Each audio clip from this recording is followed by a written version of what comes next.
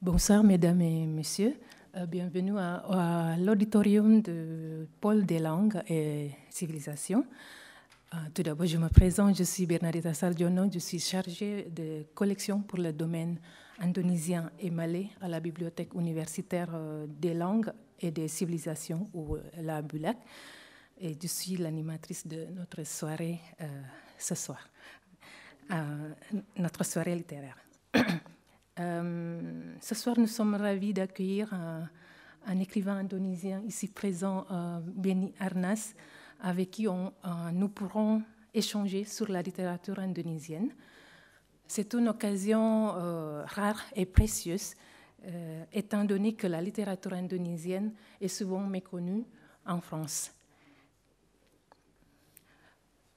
Cette rencontre a pu être organisée grâce au concours du bureau de l'attaché pour l'éducation et la culture de l'ambassade d'Indonésie en France, euh, représenté, euh, par Madame Luh Anik Mahayani, Mayani pardon, et euh, de la Bibliothèque universitaire des langues et des civilisations. ce soir, nous discuterons sur le roman de Beni Arnas intitulé Bulan Madu Matahari avec deux intervenantes. Euh, la première, euh, Madame Tengku Sharfina. Euh, Madame Tengku Sharfina est docteur en littérature. Elle est chercheuse et professeure à l'Université de Sumatra du Nord. Et la deuxième intervenante est Madame Isadora Fichou. Isadora est docteur en littérature et civilisation. Euh, ses recherches se portent sur la poésie indonésienne et française moderne, ainsi que sur la traduction littéraire. Euh, Madame Nathalie Viria est notre interprète euh, et professeure de l'INACO, va traduire notre soirée en indonésien et en français. Euh, merci à vous tous d'être venus et merci aussi à vous tous d'être euh, ici avec nous. Alors, cette soirée va se dérouler comme suit. nous allons essayer de tenir le planning. Euh, tout d'abord, nous aurons quelques mots d'ouverture de Madame Anik, l'attachée pour l'éducation et la culture d'ambassade d'Indonésie. Ensuite, moi-même, je vais présenter une brève euh, présentation sur la collection euh, en littérature indonésienne de la Boulette. Et puis, euh, une petite, une brève présentation sur Beni Arnas, suivie de la présentation de Beni Arnas lui-même sur sa carrière d'écrivain et sur son ouvrage Bulan Madu Matahari. Ensuite, on va discuter avec nos deux intervenantes et euh, suivi d'une discussion avec euh, vous, le public. Voilà. Euh, pour débuter cette soirée, je voudrais inviter Madame Lou Anik Mayani, l'attachée pour l'éducation et la culture, la culture d'ambassade d'Indonésie, pour donner quelques mots. Madame Anik Mayani, la parole est à vous.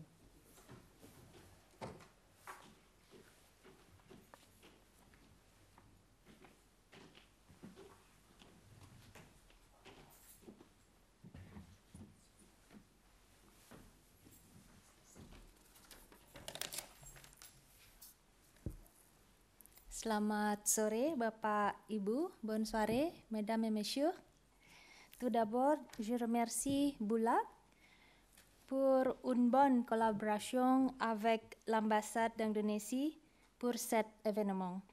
Je remercie la responsable du pôle développement des, collections de la Boulac, Madame Florent Chapuis et Madame Bernadetta Sargiono la chargée des collections pour le domaine indonésien et malais. Ensuite, euh, je souhaite bienvenue à Monsieur Beni Arnas. Je vous remercie pour une belle occasion de rencontrer des étudiants et des Indonésiens à Paris. Bienvenue aussi à notre intervenant, euh, Madame Isadora Pichou et euh, Madame Tengku Sharfina de l'Université du Nord de Sumatra. Pour une meilleure compréhension, euh, notre discussion sera traduite par Madame Nathalie Wirya. Mesdames et messieurs, une mission de l'ambassade d'Indonésie est parler l'indonésien, berbicara dalam bahasa Indonesia, et de parler de l'Indonésie, berbicara tentang Indonesia. Cette rencontre avec l'écrivain indonésien est une bonne chance pour de parler de l'Indonésie, pour introduire la littérature d'Indonésienne en France.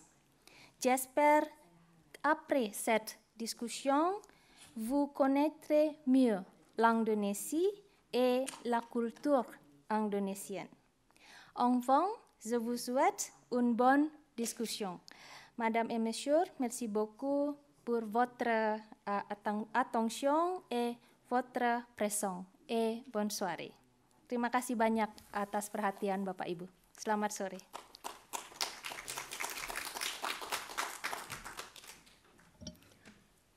Merci beaucoup, Madame Lou Annick Mayani. Nous allons ensuite voir une présentation brève de la collection en littérature indonésienne de la Bulette. Euh, c'est moi-même qui, vais présenter euh, en tant que chargée de collection en domaine indonésien et malais.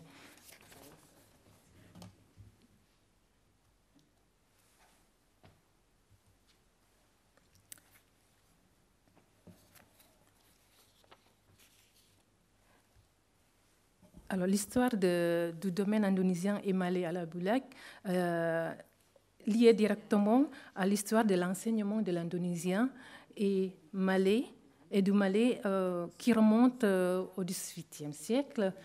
Pour une petite histoire, le malais a été mentionné dans le décret de la Convention de 1795 qui créa le l'école des langues, des langues, euh, langues orientales ou langues euh, ici, vous, voyez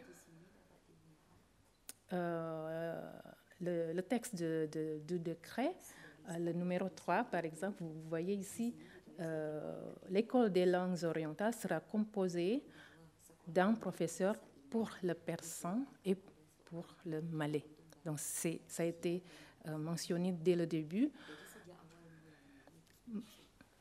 Mais euh, l'enseignement du malais a réellement débuté qu'en 1844 hein, euh, par le manque de, de, de professeurs. Euh, En 1838, lors d'une mission à Londres, euh, Edouard Doularier trouve des manuscrits en malais euh, et il les copie. Euh, à son retour à Paris, il propose à la Bibliothèque royale euh, d'ouvrir la chaire malaise, mais en vain. Euh, et en 1840, il retourne à Londres et, et à son retour à Paris, il présente la liste des manuscrits en malais et en langue euh. Euh, et il propose à nouveau l'enseignement du malais, et, euh, la Bibliothèque royale, cette fois-ci, accepte. Euh, face au manque, de livres, il décide d'aller aux Pays-Bas pour un accueillir. Alors, Ici, je vais vous montrer quelques ouvrages, quelques premiers ouvrages en, en indonésien et malais. Par exemple, ici, c'est un manuscrit euh, qu'on a ici à la, à Bulek. Euh, le titre, c'est Huit poèmes copiés sur deux manuscrits appartenant à M. Rurda van Eisinga. Et Là, ici, on n'est pas sûr si c'était vraiment M. Dularier qui a copié. mais c'était un don de M. Dularie lui-même. donc c'est en langue malais, en écriture arabe adaptée. Et ça date de 1843 c'est assez précieux, c'est dans notre euh, nos collections. Après, vous voyez ici, euh, collection de, de Pantoun, ou, Pantoun, hein, copiée sur trois manuscrits, euh, par, probablement par M. Edouard Doularier aussi, qui est allé à Londres dans sa mission. Donc, euh, ce manuscrit est en malais, en, écriture latine et arabe modifiée, euh, ici aussi, je, vais vous montrer euh, un manuscrit avec plein d'images, de, des couleurs. Ici, on voit bien euh, que c'est un parapluie, mais parapluie royal, qui s'appelle, euh, je crois que, ah, ici, Sanson. Hein, Sanson, c'est un parapluie royal, c'est le symbole de, euh, de la noblesse à Java. Ici, c'est marqué Sanson sultan, de, de sultan. Alors, euh, après, on revient à l'histoire de la bibliothèque. Euh, nous, ici, on est à la, à BULAC, qui, a été créée en 2003 euh, sous la forme d'un groupement d'intérêt public. notre bibliothèque est héritière de la bibliothèque interuniversitaire des langues orientales. voilà, et le, le fonds indonésien malais euh, concerne plusieurs pays l'Indonésie, la Malaisie, euh, le Singapour, le Brunei Darussalam et le Timor-Leste. Après, il, y a quelques évolutions qui apportent euh, une diversification des collections de, domaines indonésiens. Par exemple, la, distinction entre l'indonésien et le malaisien. Alors, l'indonésien, bahasa Indonesia, et le malaisien, bahasa Malaysia, qui est parlé en, Malaisie. Euh, ensuite, euh, à, l'INALCO, il, y a la, création de, cours complémentaires comme euh, en dehors des langues. il y a l'étude de la civilisation du Mont Malais, islamisation du Mont Malais, histoire et société de l'Indonésie et de la Malaisie au XXe siècle. Donc, ces, créations euh, apportent euh, vraiment une diversification de collections. Il n'y a pas que euh, langue et linguistique ou la littérature, mais aussi les sciences sociales et humaines. donc, dans le fond indonésien, nous avons des ouvrages bien sûr en indonésien, mais en quelques langues locales, par exemple en, langue d'Aceh, le balinais, le batak, le, le bougis, le javanais, le minangkabau, le sundani aussi. Et, euh, et bien sûr en, langue occidentale comme le français, euh, l'anglais, le néerlandais, le portugais. Euh, il y a quelques ouvrages aussi en, allemand. Euh, ensuite, euh, euh, la majorité des publications anciennes étaient éditées à Batavia, Jakarta actuelle, en langue néerlandaise. après, pendant la période de 65-98, à cause de la politique de, de, censure du gouvernement, les maisons d'édition se sont souvent contentées de publier les règlements ou les lois ou les, traductions de romans occidentaux, euh, ça beaucoup d'intérêt pour, nous, pour euh, la Boulac, parce qu'on voudrait mettre en valeur euh, la, littérature indonésienne, bien sûr. Alors, euh, de 1977 à 1985, le ministère de l'Éducation d'Indonésie a édité une série d'ouvrages de, littérature de diverses régions d'Indonésie et l'ambassade d'Indonésie en France a fait don de cette série à la BULAC. Euh, Ici, c'est juste quelques chiffres que je, voudrais vous, montrer. Euh, le fonds indonésien par thématique, il y a à peu près 29% en littérature, sciences sociales 25%, religion aussi 10%, euh, histoire et géographie 24% et linguistique et langue 12%. Euh, après, vous avez aussi le, camembert de, fonds indonésiens par langue. Euh, la plupart est en, indonésien. Après, vous avez ici euh, en anglais, beaucoup en anglais aussi, plus qu'en français. à part ça, à part les langues que j'ai mentionnées, il y a des ouvrages en malais, en sundani, bugis, baliné et maduré.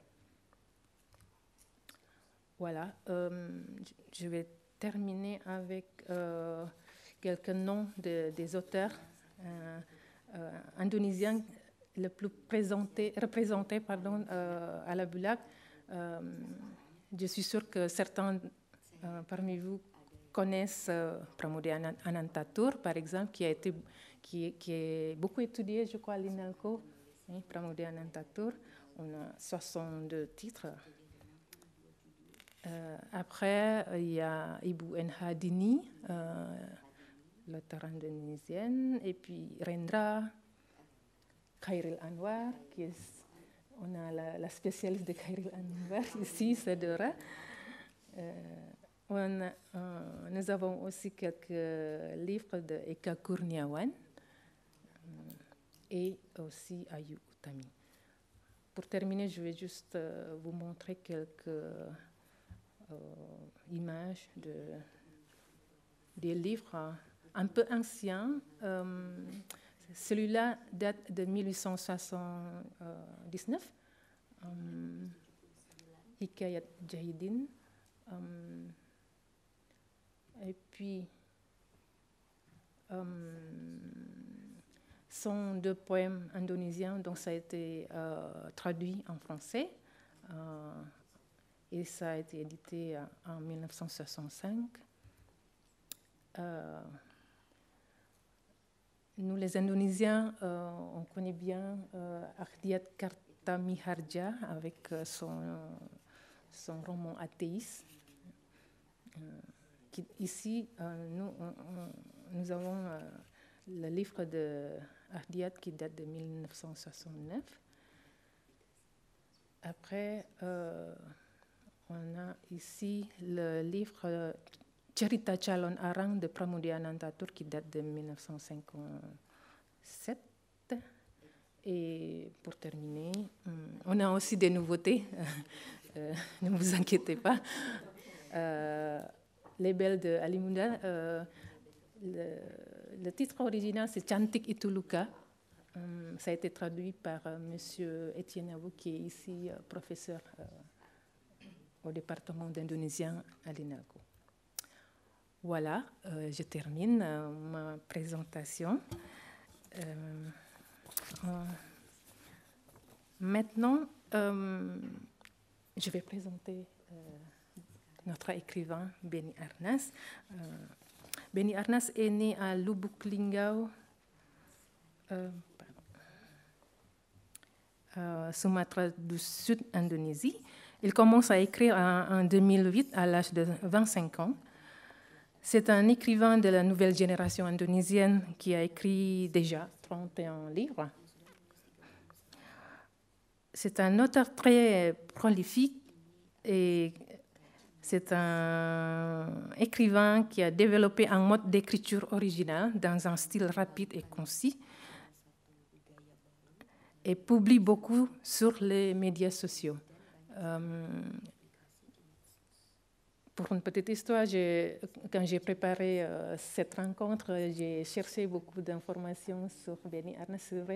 Sur YouTube, par exemple, vous pouvez trouver euh, son roman là qu'on va, euh, qu'on va voir aujourd'hui, Bulan Madu Matahari, en audio, en format audio.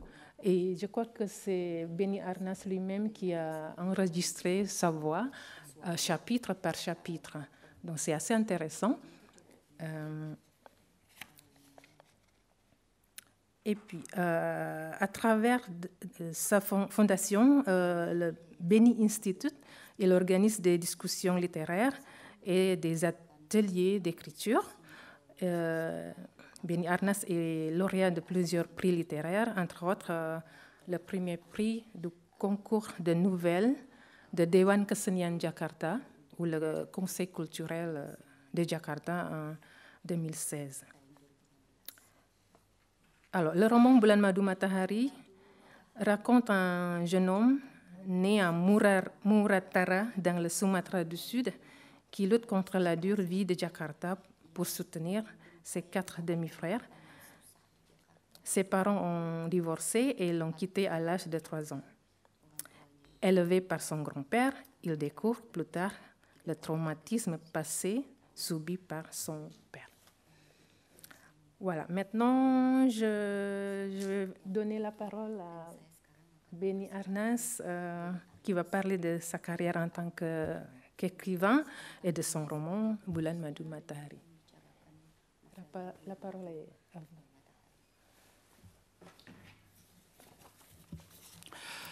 Terima kasih Mbak Ami dan terima kasih juga untuk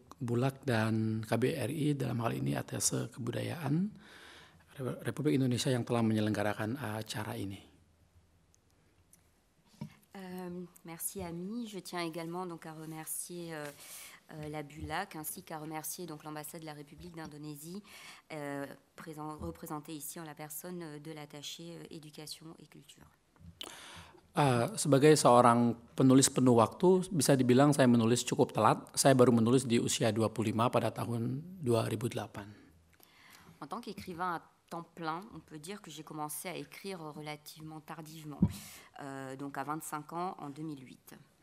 Ya, hal ini dipicu uh, sebagai seorang fresh graduate uh, dari sarjana pertanian uh, di sebuah universitas,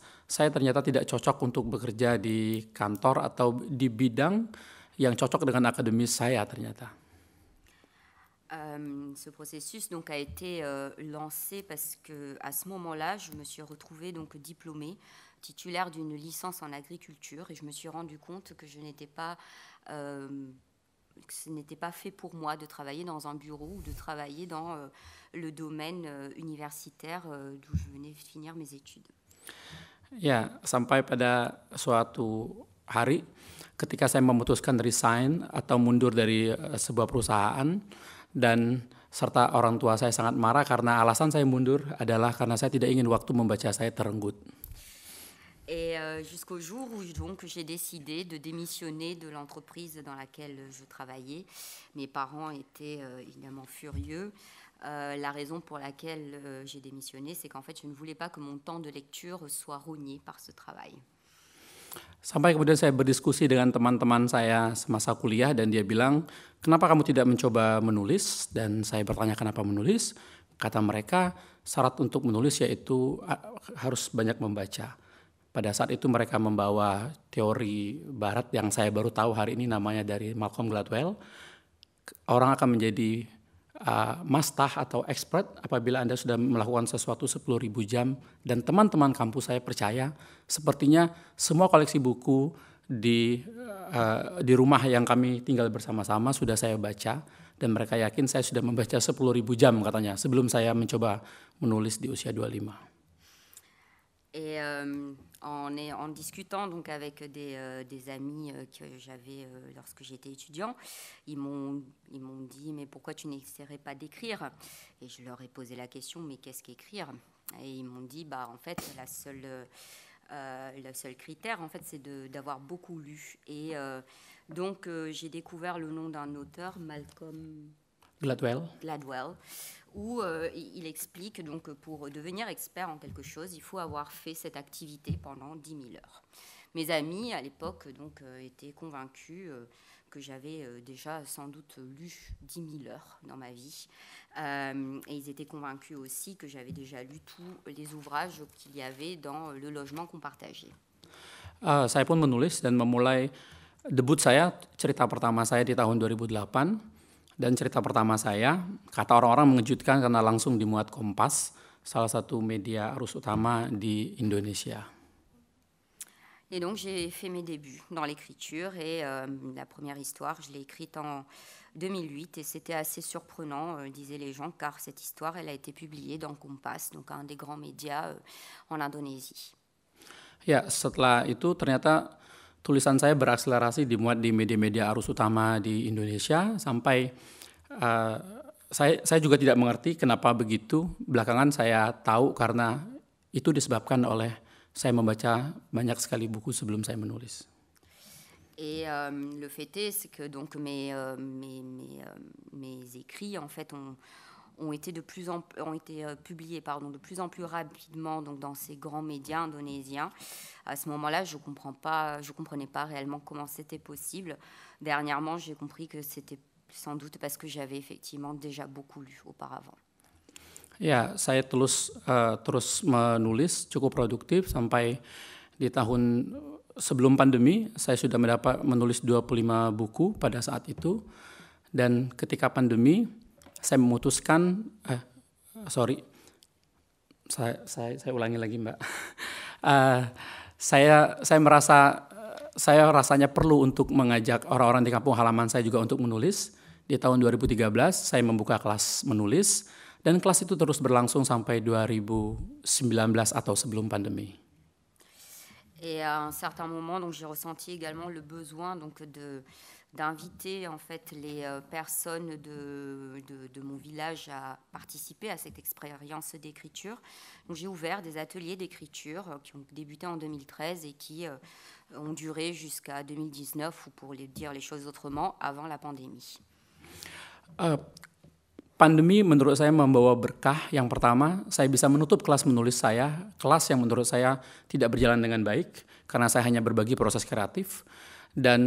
Dan berkahnya juga yaitu saya akhirnya belajar bagaimana ilmu kepenulisan. Jadi saya melepaskan semua bakat otodidak saya agar saya bisa belajar dan memberikan banyak hal yang lebih berarti untuk murid-murid saya nanti selama pandemi.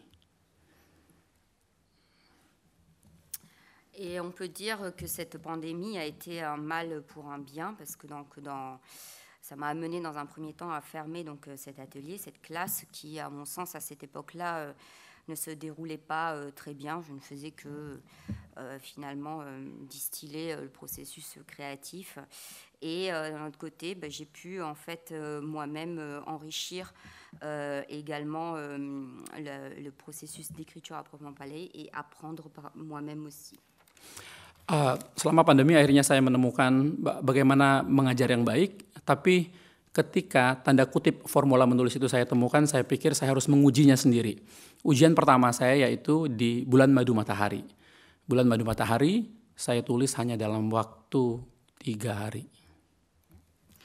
Et donc euh, durant cette pandémie, donc euh, j'ai euh, pu donc voilà apprendre, découvrir en fait cette bonne formule, si on peut dire, et on peut dire que c'est une bonne formule euh, si on l'a testée. Donc il a fallu que je teste en fait cette formule. Et donc le premier test, ça a été Bulan Madu Matahari, donc euh, lune de miel euh, de soleil que j'ai écrit en trois jours. Uh, saya, saya saya merasa perlu sebuah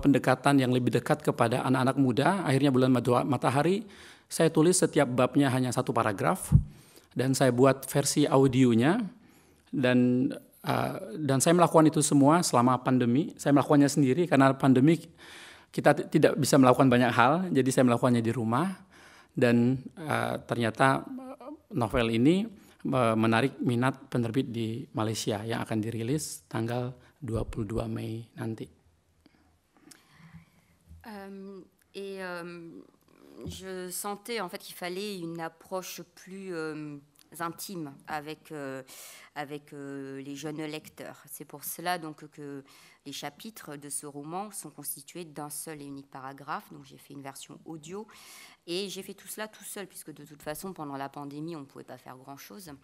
donc j'étais à la maison et j'ai écrit donc voilà ce roman qui, se, qui a euh, attiré l'attention en fait d'éditeurs pardon euh, malaisiens et euh, le roman donc verra le jour en Malaisie le 22 mai prochainement.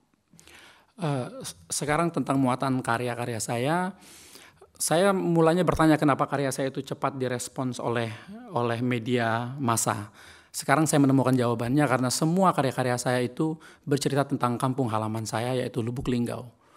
Dan karya sastra Indonesia secara lokalitas lebih banyak berbicara mengambil setting Jawa, Sulawesi, Bali, atau yang lainnya. Ketika Lubuk Linggau diketengahkan, saya pikir mungkin redaktur media massa atau penerbit mendapatkan tawaran lokalitas yang baru.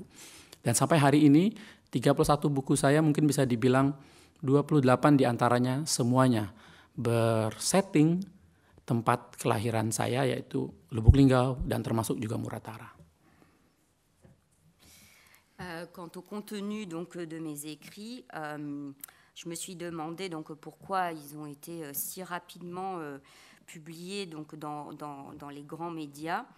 la réponse que je peux apporter aujourd'hui, c'est que quasiment tous mes écrits en fait ont pour décor en fait mon, mon, lieu de naissance, mon village, donc Lubuk Linggau, car en Indonésie, euh, en matière donc de régionalité, de, contexte local, euh, les, euh, les, œuvres littéraires vont s'intéresser à l'île de Java, à l'île de Celeb ou Sulawesi en indonésien, à Bali. Et quelque part, j'ai proposé en fait un nouvel environnement local.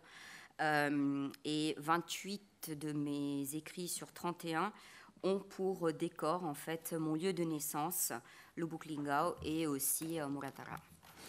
Dan dan yang terakhir saya uh, saya perlu mengangkat isu-isu lokalitas yang ada di Lubuk Linggau dalam kurung Sumatera Selatan karena isu-isu um, lokalitas Indonesia selama ini lebih banyak diisu oleh uh, diisi oleh isu-isu dari uh, Jawa sentris dan lain sebagainya yang dalam beberapa hal saya pikir tidak cukup mewakili Indonesia secara besar. Et enfin, je voulais donc mettre en avant également les euh, problématiques euh, locales de Lubuk Linggau, de Sumatra Sud. en Indonésie, il y a cette approche très Java-centrée, centriste, et qui, à mon sens, en fait, ne représente pas suffisamment en fait, cette diversité indonésienne. Terima kasih rekan-rekan yang sudah hadir, terima kasih Isadora yang sudah membaca dan insya Allah nanti akan mengulas dan juga kepada Ibu Tongku Safina, Natali penerjemah dan Mbak Ami di sini. Terima kasih. Et enfin, donc euh, merci à vous tous d'être présents ce soir. Merci à Isadora et à Madame Tongku Safina donc d'avoir euh, lu euh, mon travail et puis donc d'en parler tout à l'heure. Merci à Nathalie pour la traduction et merci à Ami Sarjono. Merci beaucoup, euh, Benny Arnas. Euh, donc, euh, Benny tout à l'heure, a parlé de ses expériences d'écriture avant et après la pandémie, et puis de ses ateliers d'écriture aussi. surtout, il a parlé de son roman, son dernier roman, Bulan Madu Matahari, qu'il a écrit pendant seulement trois jours.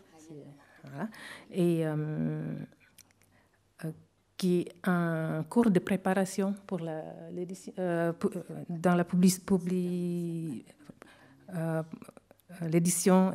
C'est avec la maison d'édition malaisienne, si j'ai bien compris. après, je, je, voulais euh, tout à l'heure poser la question pourquoi la Malaisie, pourquoi pas l'Indonésie? Euh, et aussi, euh, Benny Arnas a parlé de sa ville natale, le Buklingau, qui, qui, est, qui devient le décor de ces romans de, sur 31 livres. le décor de, de Buklingau existe dans 28 livres.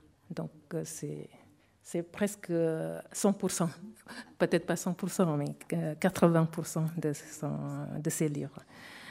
Euh, merci, euh, Benny. Euh, maintenant, passons à la session de discussion avec nos intervenantes. Madame Tankou Chafrina, je vous laisse la parole.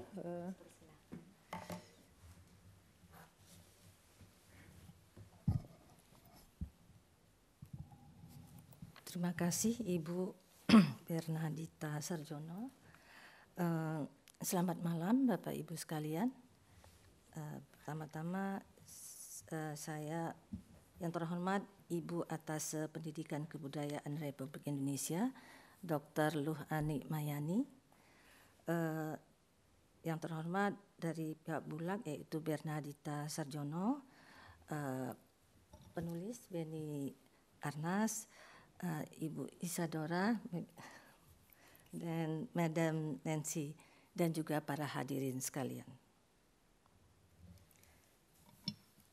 Euh, merci donc euh, Bernadetta, mesdames et messieurs, bonsoir. Madame l'attachée, euh, Madame Lou Annick Mahayani, euh, bonsoir. Bonsoir également donc euh, aux représentants de la BULAC ce soir, entre autres donc euh, Bernadetta euh, Sargiono. Merci également à Benny Arnas d'être présent ce soir. Merci également Isadora. Pertama-tama saya mengucapkan terima kasih kepada Ibu Adikbud yang telah mengundang saya sebagai pembahas dalam acara ini dan juga kepada uh,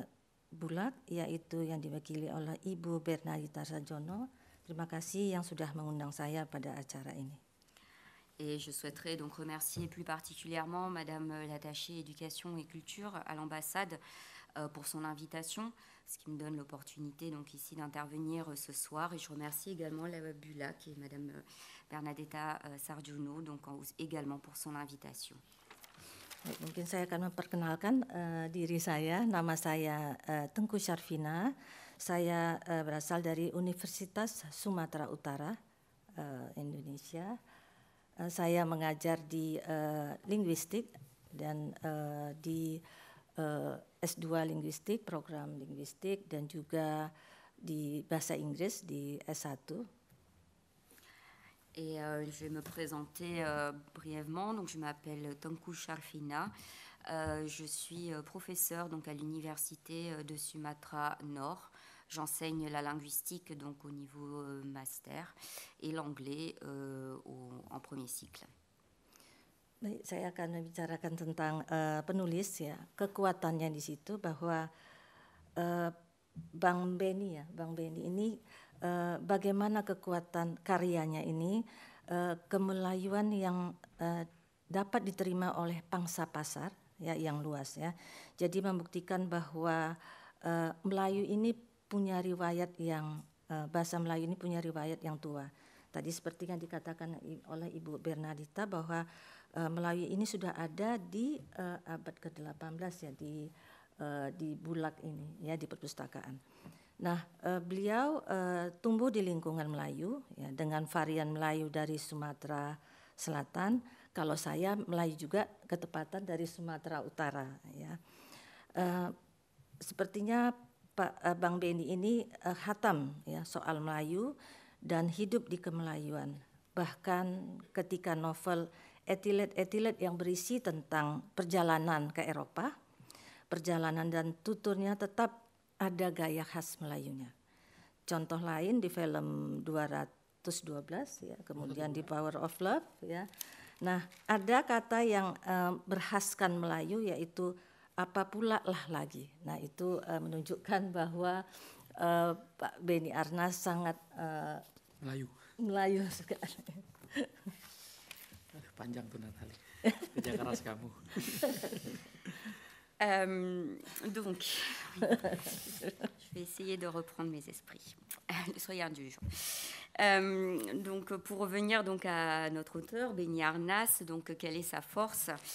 Euh, Sa force réside dans cet euh, aspect malais, donc une approche malaise des choses qui est acceptée, qui peut être comprise aussi par des segments de marché, des parts de marché assez importantes. le Malais a une histoire longue, même à la Bulac, puisque dès le XVIIIe siècle, en fait, euh, le Malais était présent, comme l'a indiqué tout à l'heure Bernadetta.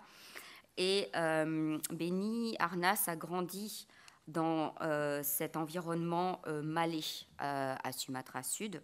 Moi-même, j'ai grandi dans un, environnement malais, mais à Sumatra Nord. Sa vie a été façonnée dans ce monde malais.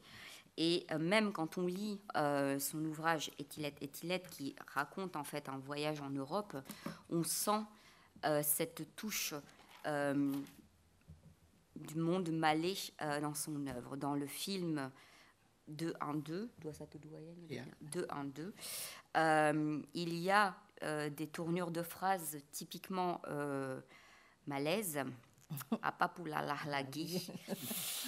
Euh, comment rendre cet aspect malais des choses en français? Pour faire simple, je pense qu'on dirait pas ça en indonésien peut-être. Désolée, c'est là que la traduction atteint ses limites. Pardon. Baik. Uh, baik, kita akan masuki uh, diskusi. Ya, uh. Jadi ada lima pertentangan dalam novel Bulan Madu Matahari. Dans euh, ce roman, Bulan Madu Matahari, euh, lune de miel de soleil, on peut dire qu'il y a cinq euh, confrontation Baik. Pertama adalah uh, produk kebudayaan, ya. jadi sist atau sistem kekerabatan versus uh, kelogikaan modernitas. Dans un premier temps, donc on a euh, le résultat euh, d'une culture, donc un système qui est fondé sur euh, euh un cercle familial très large, euh, en opposition en fait à euh, la logique de la modernité. Pertama, uh, novel Bulan Madu Matahari karya Beni Arnas ini dipenuhi oleh tokoh-tokoh berlatar kultur timur atau Melayu yang hidup di fase modern.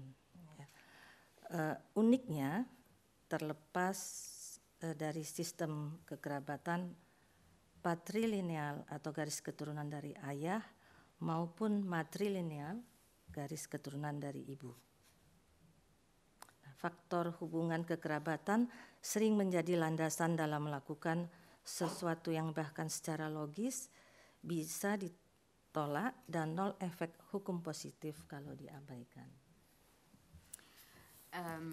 donc dans, dans ce roman, dans Lune de miel de soleil, donc euh, écrit par Benny Arnas, les personnages donc sont pétris en fait de culture orientale, dans le cas présent en fait culture euh, malaise, vivant dans euh, une époque moderne.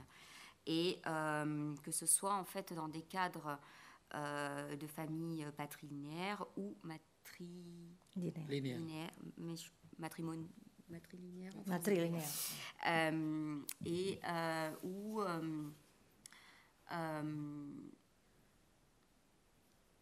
où en fait ces relations au sein donc de cette de ce cercle familial élargi euh, sert de, de fondement euh, à donc effectuer des actions qui euh, qu'on pourrait être amené en fait en temps normal de manière logique à refuser.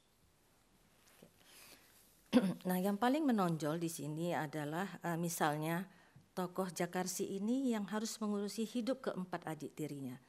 Dua adik tiri dari ibunya dan dua adik tiri lainnya dari ayahnya. Um, si on prend l'exemple donc du personnage principal, Zarkashi, Zarkashi, euh, qui euh, en fait doit euh, s'occuper donc de ses frères et de ses demi-frères et sœurs, deux qui sont nés donc de la seconde union de sa mère et deux nés de la seconde union de son père. Kemodernan menuhankan kelogikaan, tetapi lemah ketika berhadapan dengan produk kebudayaan lampau atau sistem kekerabatan. Ya. ada satu nasihat dari Nek Nang atau kakek yang merawatnya sejak kanak menjadi bukti lain bahwa doktrin kebudayaan masih berkuku, ya, termasuk bagi Jakarsi. Nah, apa nasihat itu adalah keluarga adalah matahari, sinarnya menjadikanmu ada, membelakanginya akan membuatmu terlihat bodoh. Euh, la modernité donc porte au nu, sacralise en fait cette logique, mais elle, est beaucoup plus faible quand elle doit faire face en fait à cette culture euh, ancestrale, à cette euh, logique donc familiale. Et à un moment donné, le grand-père du personnage, Nek Nang, lui donne un conseil. Et c'est là qu'on voit à quel point en fait cette, culture reste quand même très prégnante, très présente. Quel est donc ce, conseil qu'il lui donne? Il lui dit, la famille, c'est comme le soleil. Euh, si tu existes, c'est par les rayons, c'est par ces rayons. Euh, si tu lui tournes le dos, si tu leur tournes le dos à ces rayons, tu auras l'air d'un idiot. Okay. Nah, yang ketiga adalah doktrin kekerabatan sebagai produk budaya kadangkala bisa setara doktrin agama, bahkan pada titik tertentu bisa lebih tinggi. Par ailleurs, donc cette euh, logique donc de, de cercle familial euh, peut être euh, assimilée, peut, peut, se trouver en fait au même niveau que les préceptes religieuses et voire à certains moments être même plus important euh, que euh, ces derniers préceptes. Yang kedua adalah uh, tanam jasa versus balas budi. Jadi di sini dapat kita lihat bahwa balas budi atas sebuah jasa dilakukan tanpa dasar keinginan atau ketidakinginan. Okay. Euh, deuxième donc euh, opposition qu'il y a euh, dans cette œuvre, c'est euh, rendre service et finalement être redevable aussi. Euh, donc euh, quand on doit balas Balas. Balas budi. Quand on doit en fait euh, euh, pardon S'acquitter. Oui, s'acquitter d'une dette euh, euh, morale. Euh, en fait, on doit, on doit le faire, euh, peu importe qu'on ait envie de le faire ou pas.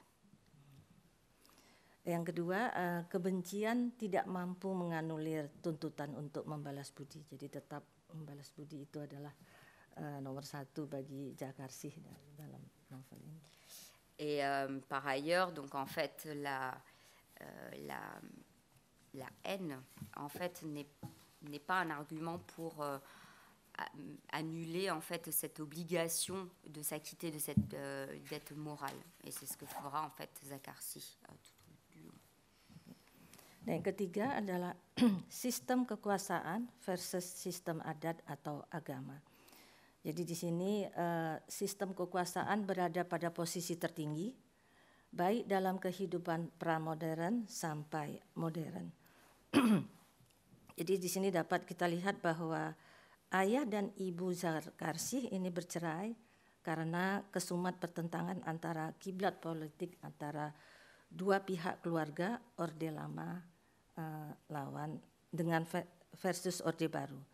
Jadi uh, fakta inilah yang menunjukkan bahwa uh, sistem kekuasaan itu lebih tinggi daripada uh, dalam kehidupan pramodern sampai modern. La troisième opposition, donc en fait, c'est euh, le pouvoir euh, face en fait à, à, la tradition ou la religion. Euh, le pouvoir donc reste à la position la plus élevée, que ce soit donc à l'époque prémoderne voire moderne. Euh, les parents en fait de Zakarsi, donc du personnage principal, euh, divorcent car il y a une opposition euh, d'appartenance politique, d'opinion politique en fait entre ces deux personnes, avec un côté qui va euh, être euh, favorable à l'ordre ancien, ordre lama en indonésien, et euh, un autre côté qui va être favorable à l'ordre nouveau ou ordre baru. C'est là qu'on voit que finalement le pouvoir en fait euh, se trouve malgré tout au-dessus de la tradition et euh, de la religion. Kemudian yang keduanya, uh, jadi pertentangan kiblat politik antara dua pihak keluarga memutuskan tali kekerabatan atau perkawinan. Jadi uh, antara perpisahan antara uh, ibu Zakarsih dan ayah Zakarsih itu adalah akibat daripada perbedaan kiblat politik. Et donc cette opposition en fait de blocs politiques, d'opinions politiques entre ces deux parties euh, de, la, de, cette famille en fait va créer, va mener à, la rupture en fait des liens du mariage, à, la, à, leur divorce. Euh, c'est ce qui se passe en fait entre, les parents en fait de Zakarsi. Yang keempat uh, toleransi versus ras. Jadi di sini uh, pertama adalah kemampuan keberterimaan atau toleransi masyarakat Indonesia itu menyebabkan isu-isu rasis tidak tumbuh subur.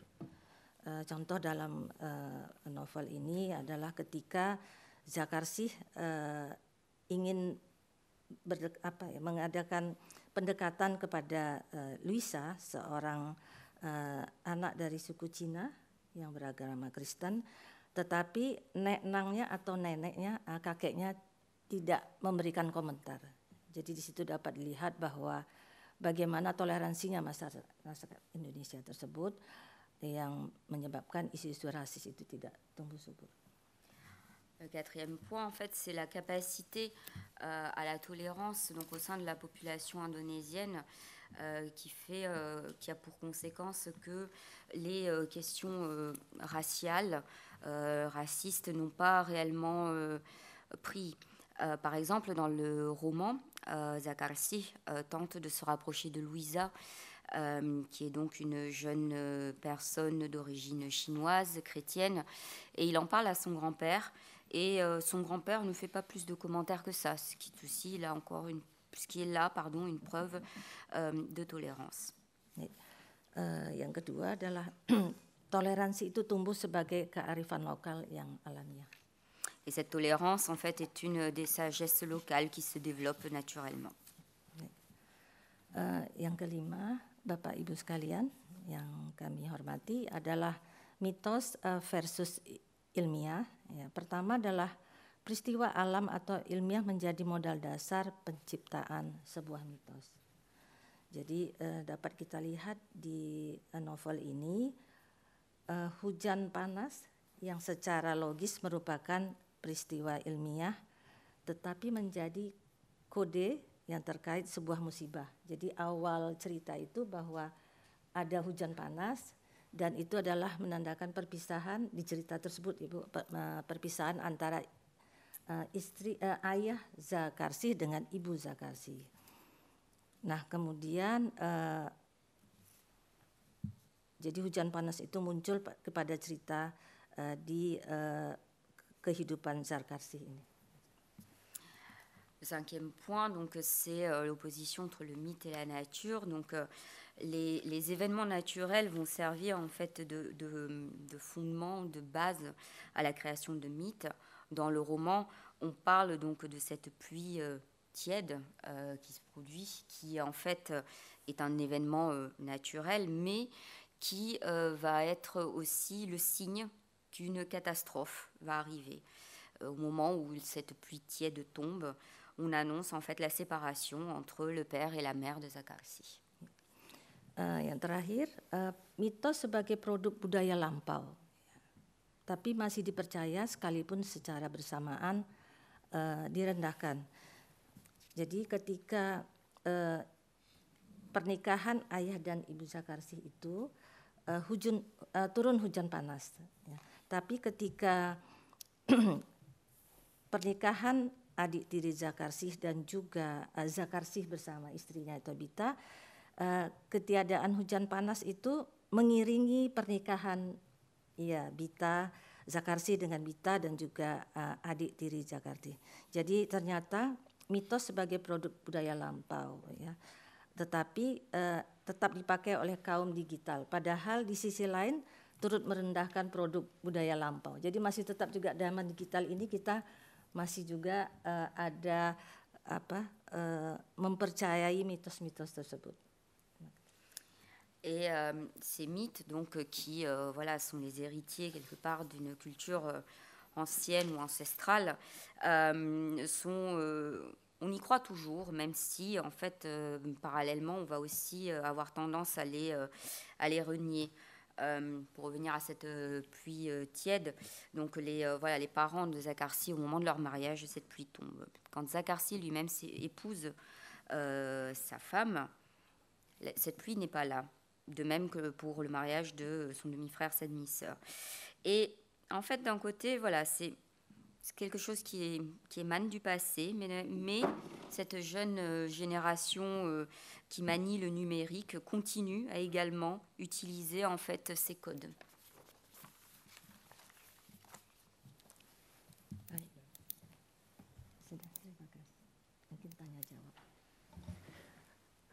Merci beaucoup, euh, Madame Tankou Sharfina, et merci en avance à Nathalie qui a fait la traduction. Euh, vous pouvez peut-être boire un peu, un peu d'eau. Alors, euh, Madame Tungu Sarfina tout à l'heure a évoqué euh, quelques confrontations ou quelques oppositions qui existent dans, le roman euh, de Bulan Madhu Matahari. Quelques mots qu'on peut retenir ici, c'est euh, relation dans les de cercles familiales, la modernité contre la tradition, euh, elle a parlé aussi de la dette morale, euh, Balas Boudi, hein, la dette morale, euh, et puis le, choix politique de la famille, le pouvoir contre la, la, tradition et la religion, les blocs politiques, et puis la tolérance contre le racisme. Et, et Madame donc Sarfina parle aussi de la sagesse locale euh, euh, qui, est présente euh, dans ce livre et aussi des mythes contre événements naturels. maintenant, je, je, laisse la parole à Isadora Fichou.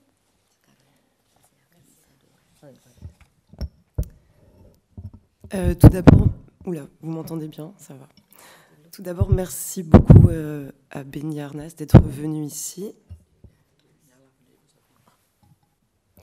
Merci.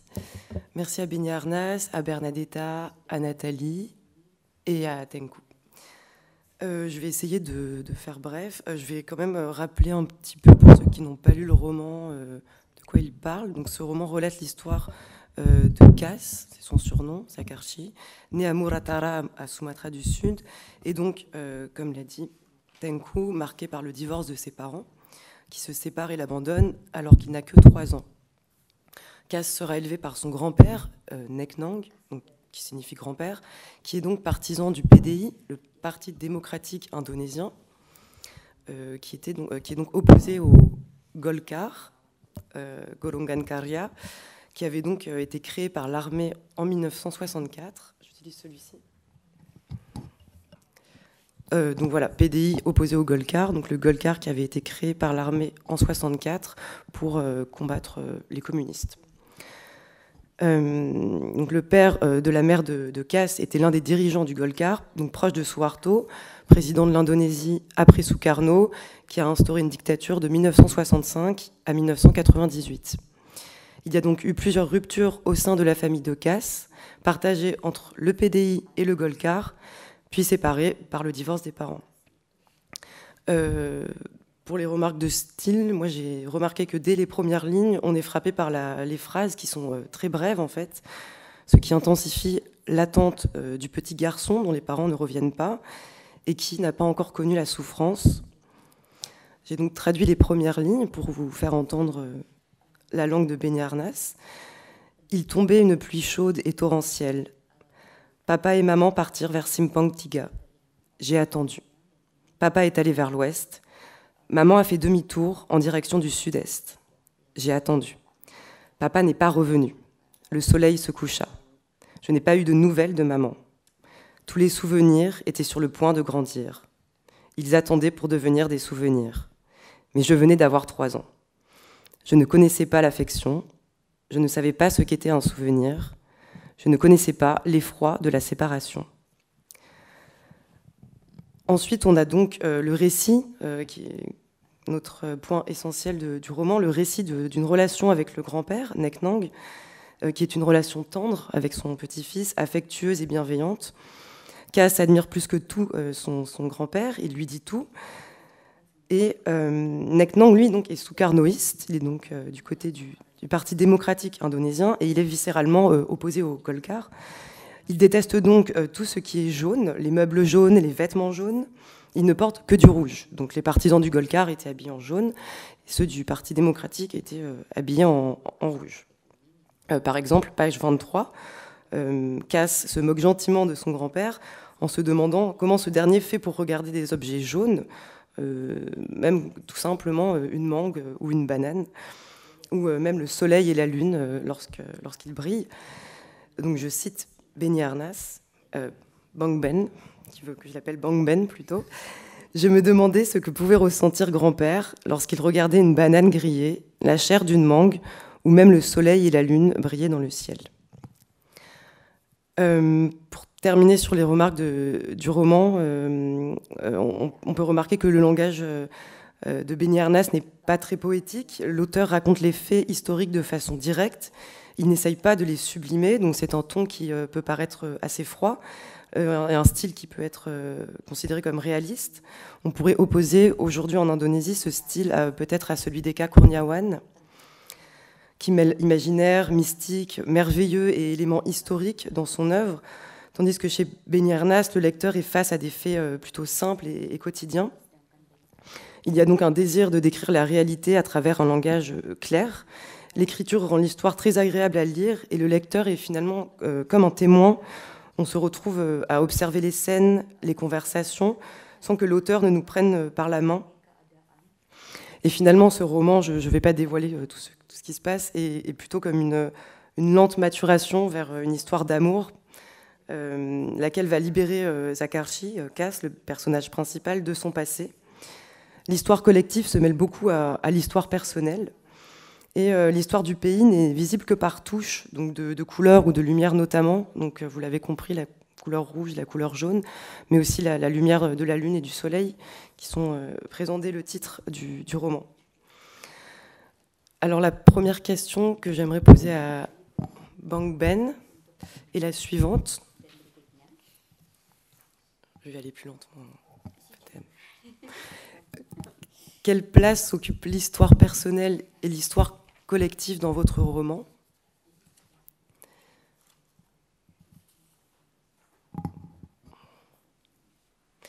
Et euh, diriez-vous que le personnage principal euh, incarne une génération, donc née au début des années 90 en Indonésie, et qui aurait peut-être euh, réussi à acquérir une certaine lucidité vis-à-vis du XXe siècle en Indonésie?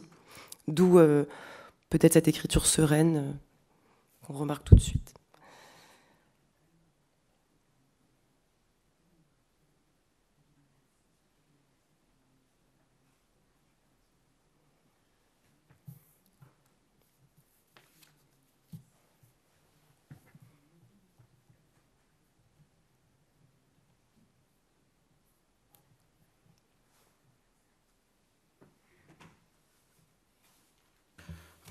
Ya, uh, menarik sekali. Uh, pertama saya mengapresiasi pembacaan uh, Ibu Tungku dan yang terakhir Isa, Isadora uh, menangkap menangkap novel ini dengan sudut pandang eh, mendengarkan sudut pandang pembaca terhadap novel ini membuat saya sangat gembira. Euh, c'est très intéressant, merci. Et je voulais dire aussi que j'apprécie réellement donc, les lectures qui ont été faites euh, par euh, nos deux intervenantes, donc Madame Dankoucha Firna ainsi que Isadora Fichou, et entendre en fait ces, ces lectures de la part donc, de lecteurs me rend vraiment heureux. Saya tumbuh dalam kultur Orde Baru dan Orde Baru pada saat itu tenang sekali, indah dan damai. Euh, j'ai grandi donc euh, dans une culture d'ordre nouveau, euh, dans un milieu, enfin oui, une atmosphère plutôt d'ordre nouveau, et c'était très calme, très beau, très paisible. Sampai kemudian ketika saya mungkin kelas 5 atau 6 SD, saya menemukan seorang teman saya pulang uh, pulang bermain dalam keadaan kepalanya berdarah. Euh, jusqu'à ce que euh, vers euh, la dernière année de primaire, enfin oui, donc cinquième ou sixième année de primaire, je rencontre un jour en fait un ami qui rentrait de jouer et il avait la tête qui saignait. Dan saya ter sangat terkejut ketika tahu alasannya. Kenapa? Karena keluarga dia pendukung PDIP. Et j'ai été très surprise d'en apprendre la raison, car en fait sa famille était pro donc PDI, donc le Parti démocratique Indonésie. Sebagai sebagai uh, anak yang hidup dalam uh, papa saya PNS dan dan juga kakek saya Golkar, saya saya terkejut, terkejut oh ternyata ada or, ada ternyata teman-teman saya yang PDI. Et um, mon père était euh, fonctionnaire, mon grand-père était au Golkar. Et euh, moi, j'étais surpris à ce moment-là. Je me disais, ah bon, euh, j'ai des amis en fait qui sont euh, pro PDI. Sejak itu saya tahu kedamaian dan keharmonisan ini ternyata ada yang salah. Et c'est à ce moment-là en fait que j'ai euh, compris que euh, cette euh, cette atmosphère paisible en fait, cette harmonie, il y avait quelque chose qui clochait dedans. Saya terus mencari tahu dalam uh, uh, waktu demi waktu, akhirnya saya menemukan bahwasanya ada kekuatan dari bawah tanah yang disebut dengan politik yang bisa mengubah bahkan terhadap status yang paling dekat dengan kita, yaitu keluarga. Et euh, donc je me suis renseignée, j'ai cherché à savoir, et c'est là que j'ai découvert qu'il y avait une force souterraine qu'on appelle la politique, euh, capable en fait donc euh, de changer euh, des situations, euh, même jusqu'à celle la plus proche, à savoir celle de notre famille. Ketika berdiskusi dengan, uh, ketika saya mengedit novel ini, saya selalu bertanya kepada diri saya, perlukah saya tulis PDIP adalah PDIP, Golkar adalah Golkar? Itu lama sekali sampai saya putuskan tidak ini ini benar-benar saya alami dan saya melihat sesuatu yang salah, sesuatu yang tidak baik-baik saja. Akhirnya itu saya tuliskan. Et au moment donc de, des relectures en fait du roman, je me suis posé la question est-ce que j'ai vraiment besoin d'écrire que le PDI c'est le PDI, que le Golkar est le Golkar, d'expliciter les choses. Et euh, ça m'a pris un certain temps, mais puis je me suis dit que c'était quand même quelque chose que j'avais vécu, que ce n'était pas quelque chose en fait euh, de, de, correct, de bien, si je puis dire, et euh, j'ai décidé donc euh, de les nommer. Sampai akhirnya saya berpikir bahwasanya ingatan saya, persepsi saya bahwasanya ini tidak baik-baik saja adalah cukup mewakili masyarakat Indonesia pada tahun 90-an itu. Ini penting saya ketengahkan karena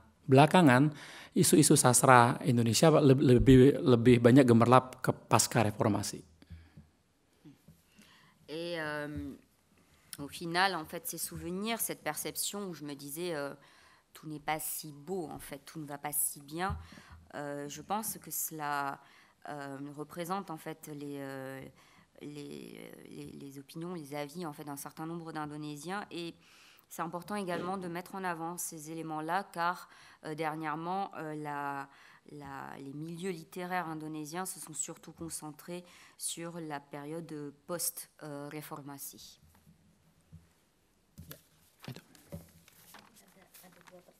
Boleh.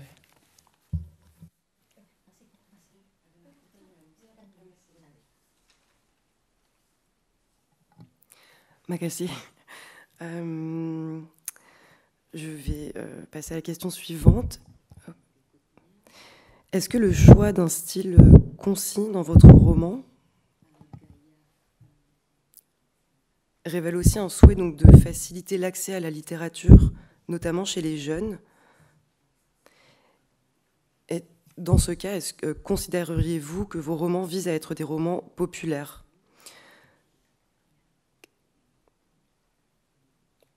Car euh, vous semblez prôner l'écriture rapide et l'immédiateté de l'information. Vous avez écrit Boulan Madou Matahari en trois jours sur votre téléphone portable et vous avez par ailleurs inventé une méthode d'écriture qui consiste à écrire le plus vite possible.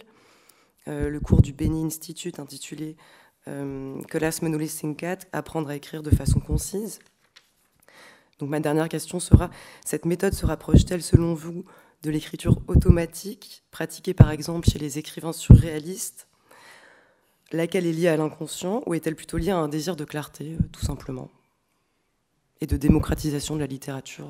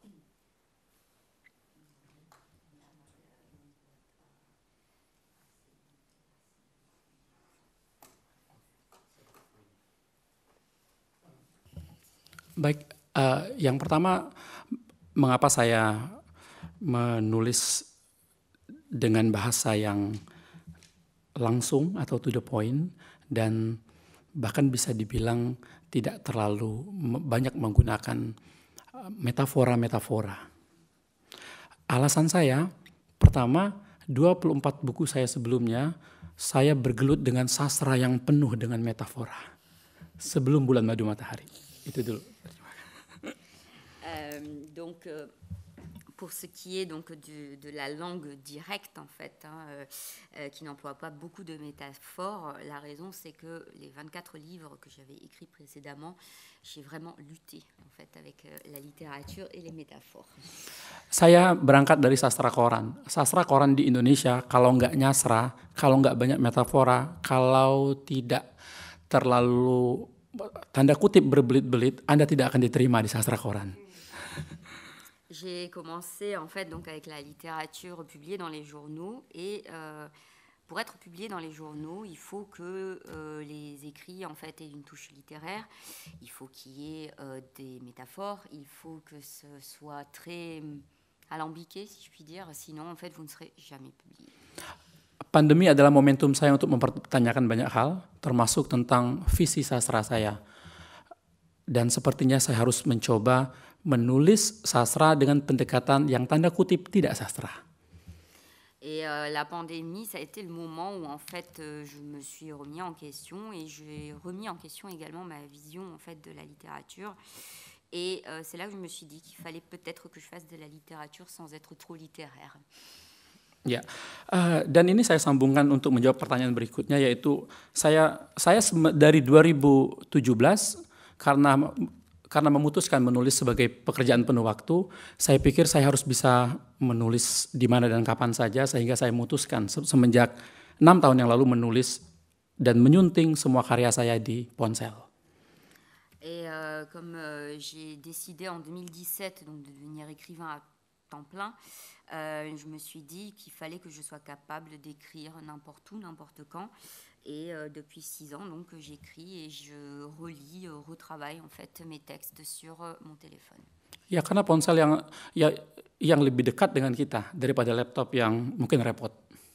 Alors le, finalement, euh, le, le, portable est un, un, objet euh, beaucoup plus euh, proche, en fait, beaucoup plus oui, immédiat, j'ai envie de dire, même qu'alors que l'ordinateur, bah, ça prend plus la tête. Uh, lalu apakah metode menulis saya mau disebut menghasilkan uh, teks dengan cara yang instan atau disamakan dengan uh, menulis karya surrealisme uh, yang lepas dari kesadaran? Saya jawab sama sekali tidak. Et quant à la question donc par rapport au surréalisme, tout ça, euh, le, le, fait d'écrire en fait hors euh, d'un processus conscient, donc absolument pas. Uh, metode menulis saya menekankan pada penyiapan cerita.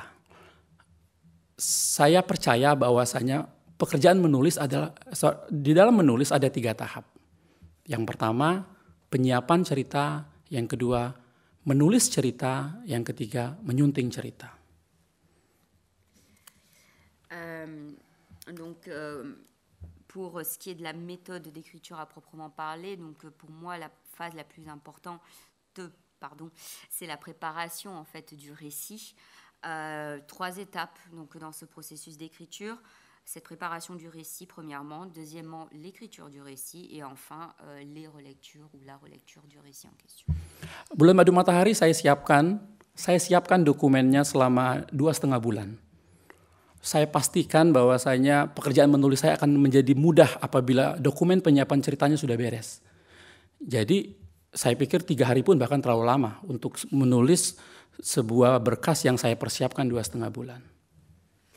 J'ai préparé donc toute la partie euh, documentation, documentaire en fait pour euh, ce roman euh, pendant deux mois et demi, car en fait je me disais si cette préparation est, euh, est bien préparée, l'écriture en fait se fera plus facilement. Et au final, quand on y réfléchit, je trouve que trois jours c'était même trop long pour euh, écrire. Euh.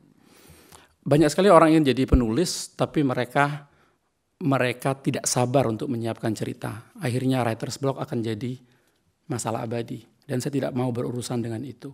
Karena saya ingin hidup dari menulis. Kalau saya ingin hidup dari menulis, saya harus nulisnya cepat. Supaya saya bisa hidup. Tidak lagi zamannya menulis satu novel enam tahun.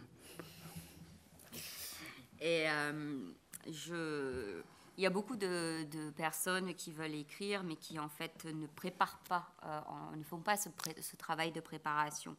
Et c'est comme ça qu'on arrive à, la page blanche, en fait, au syndrome de la page blanche. Et je ne veux pas, en fait, euh, connaître ça, car je veux vivre de mon écriture. Donc il faut que je puisse écrire pour pouvoir vivre. Et euh, c'est plus trop. c'est un peu passé de mode, finalement, d'écrire un roman en six ans. Dan bahkan untuk meyakinkan diri sendiri, saya, saya menguji, mengirim karya-karya saya, baik ke media massa arus utama yang sebelumnya mempopulerkan diri saya, dan mengirimkan naskah saya ke lomba novel tingkat nasional dengan nama samaran. Et euh, donc je, je me mets à l'épreuve en fait, j'envoie donc euh, mes textes euh, aux euh, médias qui au début m'avaient publié. Je participe également à des euh, concours, j'envoie donc mes, mes, romans, mais euh, j'utilise un pseudonyme. Anda tahu hasilnya, semuanya dimuat dan saya menjadi juara pertama. Et au final, ils ont tous été publiés et j'ai gagné le premier prix. Jadi menulis cepat bukan antitesis daripada karya yang tidak berkualitas. Demikian. Et donc euh, finalement, on peut dire que une écriture rapide n'est pas antithétique en fait avec euh, une écriture de qualité. Euh, merci. Est-ce que j'ai le temps pour une dernière question? Une petite, ok. Euh, euh, justement, en fait, est-ce que vous pensez, que vous pensez que les autres acteurs de la sphère littéraire en Indonésie devraient faire donc comme vous, finalement, que tout le monde devrait faire comme vous et rendre accessibles donc les livres sur les réseaux sociaux? Euh, pour prendre un exemple, on en parlait l'autre jour, je pensais à Chichi Rissal, qui euh, est historien et écrivain et qui, comme vous, est très actif en fait sur les réseaux sociaux, euh, qui, est passionné comme vous, mais pour qui le format imprimé est essentiel dans la diffusion des idées et la maturation de la pensée. Il accorde également beaucoup d'importance à cette maison d'édition qu'il a fondée à d'époque, euh, à côté de Jakarta, et qui participe dans un sens à donner euh, le, goût de, la lecture et euh, celui de la découverte d'une histoire commune, notamment les massacres de 65, puisqu'il en parle beaucoup en fait. Pensez-vous que, ces lieux donc, sont importants ou qu'ils sont voués à disparaître si les jeunes générations finissent par lire exclusivement sur smartphone, tablette ou ordinateur? Um, jadi menurut, uh, Bang Ben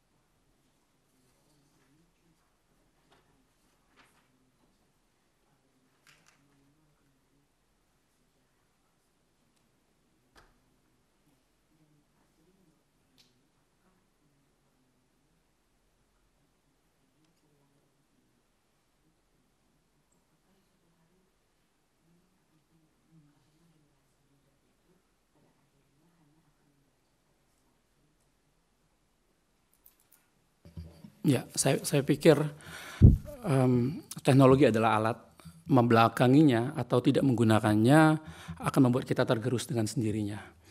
Jadi saya yang hidup di era ini cukup gelagapan dengan dengan media, sosial, dengan dengan uh, semua semua kemajuan teknologi. Tapi saya pikir saya tidak mungkin tidak berdamai dengan itu. Um, belakangan, walaupun saya tidak menyebutkan merek, sejumlah karya saya justru saya tuliskan dengan chat GPT dan direspons media mainstream.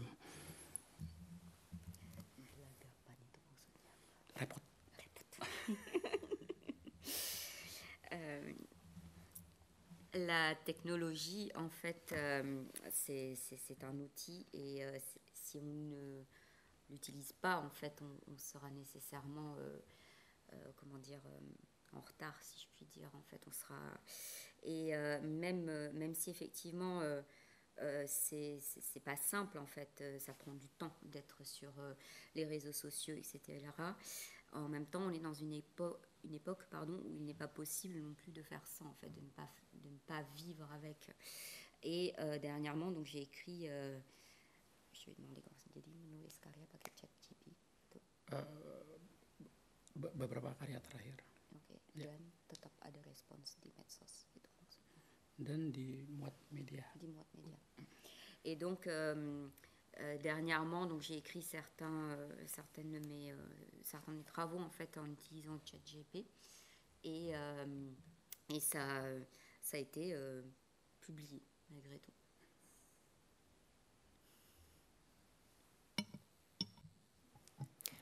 Merci, terima kasih. Merci beaucoup, euh, Isadora et Bangben. C'est un dialogue très intéressant. Et merci aussi encore une fois euh, Nathalie. Euh, passons maintenant à la session questions-réponses avec le public. Est-ce que vous avez des questions ou des commentaires?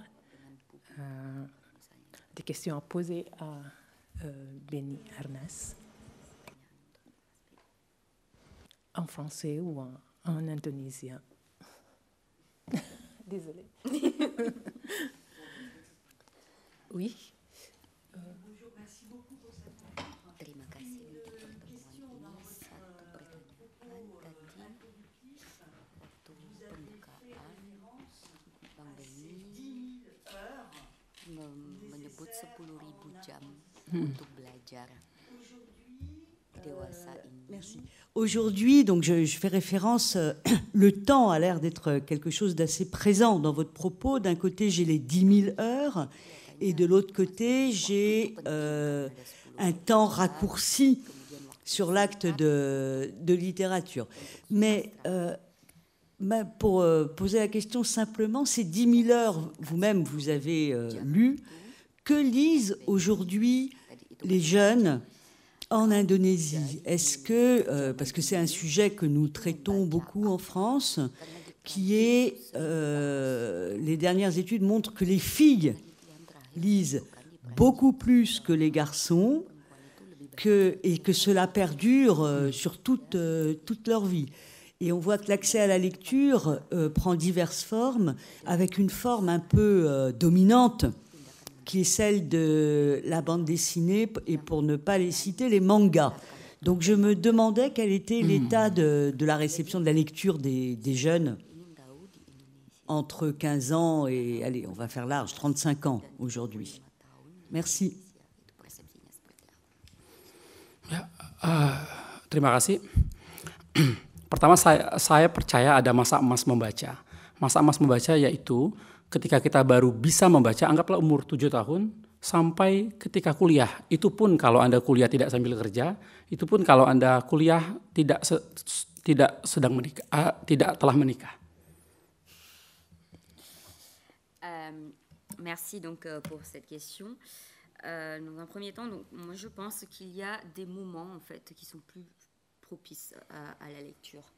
Euh, donc euh, quand on commence à savoir euh, lire, par exemple, donc euh, vers 7 ans, jusqu'au moment où on, entame des études universitaires. bien sûr, quand études universitaires il y a, et euh, quand on est à l'université aussi, quand on est célibataire ou pas encore marié, par exemple.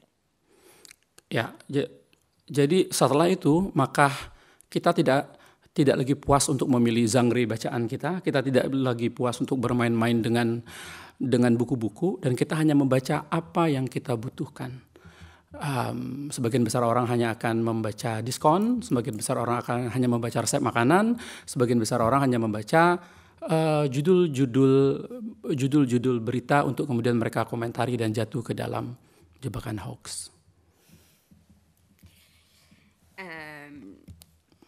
Et euh, on n'a plus euh, réellement, donc en dehors de, ces, de cette période que j'ai citée, après on n'a plus réellement en fait de de temps pour satisfaire en fait cette, euh, cette envie de lecture, pour euh, s'amuser euh, avec la lecture et on se retrouve à lire ce dont on a besoin, que ce soit par exemple les promotions commerciales, les recettes, les recettes pardon, de cuisine, les titres des nouvelles, pour pouvoir après les commenter, pour éventuellement peut-être tomber aussi dans le piège des hoax ou des fausses informations.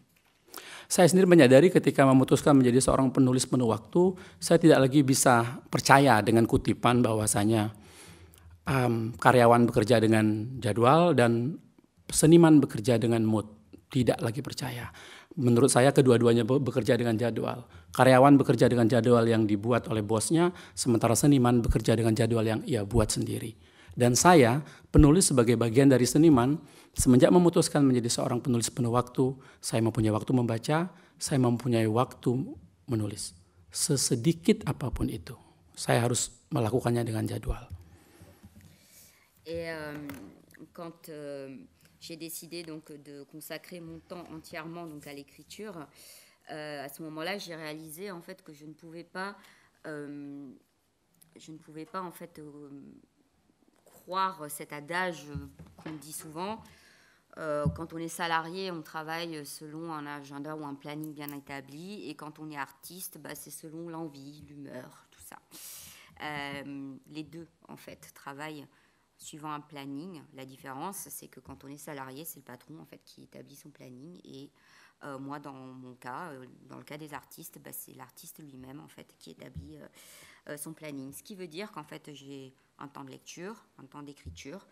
Et peu importe que ce soit dans un temps euh, limité, il y aura toujours cette activité.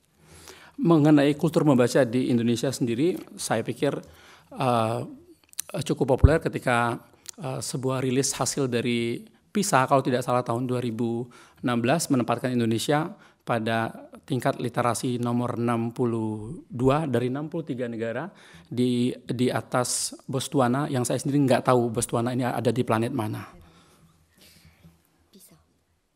PISA. PISA. PISA. 2016. PISA. Euh, quant à la culture à proprement parler, donc de lecture, en fait, euh, euh, on peut se référer à cette étude donc, qui a été, qui a été pardon, publiée par PISA, PISA en, 2016, donc, qui positionne l'Indonésie au 62e rang sur 63. devant le Botswana. Et je ne sais même pas sur quelle planète se trouve le Botswana. Uh, sebagai contoh, ke, uh, kelas menulis BNI Institute pernah dikontrak oleh sebuah universitas di Lubuk Linggau untuk untuk menyelenggarakan sebuah kelas menulis. Jadi saya bertanya kepada kalau tidak salah jumlahnya ada 82 peserta. Karena melihat uh, pelannya uh, progres mereka di dalam kelas, saya bertanya terus terang siapa di kelas ini yang memang ingin belajar menulis dan siapa yang ingin di kelas ini yang memang ikut kelas ini hanya untuk dapat sertifikat. Anda tahu hasilnya dari 82 yang menunjuk tangan untuk mendapatkan sertifikat 81. Et euh, donc euh, cet atelier d'écriture du Beni Institute euh, par le passé donc c'est arrivé en fait qu'une qu'une université nous sollicite. Donc voilà, pour, pour, pour, pour, que cette, cet atelier, cette classe en fait, entre, je, soit animée dans, chez eux. il y avait 82 inscrits. Et leur progrès était tellement lent, tellement faible. À un moment donné, donc j'ai posé la question de manière très sincère en leur demandant mais qui ici a réellement envie d'apprendre à écrire et qui ici est présent en fait pour obtenir un, certificat en fait à la fin? Et donc sur cette dernière, question, qui est là pour obtenir un certificat, il y a 81 personnes qui ont levé la main. Itu juga sebabnya ketika 2013 saya berkomitmen untuk paling tidak bertanggung jawab kepada kampung halaman saya. Saya membuat kelas menulis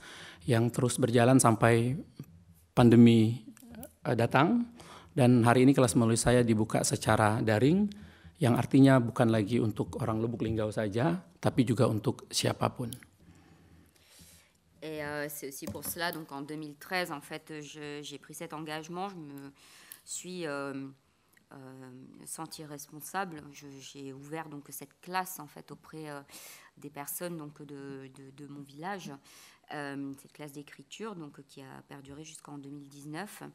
Et, euh, dans cette, euh, et après donc, la pandémie, cette classe est accessible maintenant en, en ligne, pardon, ce qui veut dire qu'elle n'est plus accessible seulement aux gens du village, mais à n'importe qui.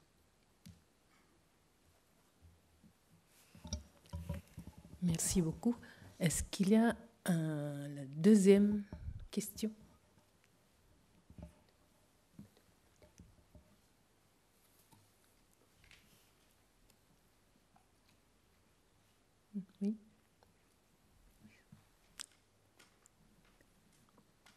Ou alors tout à l'heure, euh, vous, avez une question ya?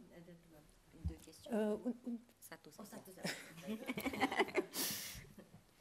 Eh, seperti dalam bulan madu matahari ini, ya eh, kita lihat tokoh Jarkarsih ini eh,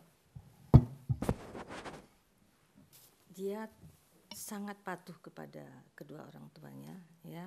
Sehingga dia mengurusi hidup adik tiri ya, yang empat. Nah, apakah kultur kekerabatan yang banyak tergambar dalam bulan madu matahari ini mewakili kultur Indonesia? Yang jika dilihat dari sisi kemudaratannya turut menyebabkan kekacauan profesionalisme kehidupan bernegara Indonesia dalam kurung bahasa Indonesia eh, tentang Indonesia sampai saat ini. Karena eh, dapat kita lihat bahwa gara-gara mengurus adik tirinya ini Jakarsi eh, acap terabaikan secara profesional. Jadi dia tidak mengurus eh, apa eh, restoran ya, bersemi. Terima kasih Donc on voit dans ce roman que le personnage principal, Zakarsi, donc est euh, très obéissant euh, envers ses parents. Ses parents lui demandent en fait de s'occuper donc de ses euh, quatre demi-frères et sœurs, ce qu'il fait. Il se plie à leurs ordres. Et la question est est-ce que ces liens familiaux sont représentatifs finalement de, de ce qui se pratique en Indonésie, sachant que cela peut engendrer un certain degré en fait de, de désordre finalement, puisque euh, en s'occupant de ses demi-frères et de ses demi-sœurs, euh, Zakarsi donc euh, ne s'occupe plus de son restaurant. Ça a des conséquences aussi sur sa vie euh, professionnelle. Donc est-ce que ces liens familiaux peuvent aussi créer des désordres en fait beaucoup plus grands que simplement sur la sphère familiale? Ya, uh, posisi anak laki-laki apalagi anak tertua di dalam masyarakat Melayu kita tahu sangat sangat sangat penting. Dia menjadi tulang punggung setelah setelah orang tua khususnya ayah. Dan itu juga saya alami sendiri juga ketika keluarga saya kultur adalah keluarga PNS. Tapi, tapi ketika saya empat bersaudara, saya anak pertama memilih bukan PNS, ketiga adik saya akhirnya memilih menjadi seniman alias tidak PNS juga. Contohnya begitu. Euh, en étant donc euh, le, fils aîné, donc euh, non seulement le premier de la fratrie, mais en plus le garçon, le premier garçon aussi de la fratrie, c'est en fait quelque part devenir la colonne vertébrale de la famille après le père. Et je l'ai vécu moi-même, donc moi je suis l'aînée d'une fratrie de quatre. Nous sommes une famille où nous sommes donc des, des, pardon, mes parents étaient, étaient fonctionnaires et quand j'ai fait le choix de ne pas devenir fonctionnaire, tous les autres ont suivi. Dan betul, jadi tanggung jawab keluarga yang memang dibesarkan oleh tradisi adat bisa saja dia melampaui kuasa agama, bisa bisa saja dia melampaui um, uh, melampaui kuasa kuasa profesional dan lain sebagainya. Saya gambarkan dalam setting di tahun uh, di di tahun 2011 dan saya pikir sampai sampai sekarang walaupun tidak sebanyak dulu tapi itu juga masih masih terus ada. Et euh, la notion de responsabilité dans une famille où, la, tradition en fait est très présente euh, va en fait cette tradition va aller au-delà euh, de la religion, va aller au-delà aussi donc des, euh, du, monde professionnel. Et je, je l'ai décrit là dans un contexte de 2011, mais cela existe toujours. Donc, merci beaucoup. S'il n'y a plus de questions, je crois qu'on arrive à la fin de notre rencontre. Euh, je tiens à remercier tout le monde, euh, Benny Arnas Bangben, euh, Ibu Tengku Sharfina, Isadora euh, Fichou, Nathalie Viria, et bien évidemment l'ambassade d'Indonésie en France, euh, le bureau de l'attaché pour la culture et l'éducation, et aussi euh, l'équipe de la BULAC, euh, l'action culturelle et aussi euh, pôle de développement de collection. Merci beaucoup de votre présence ici et bonne soirée. Merci beaucoup.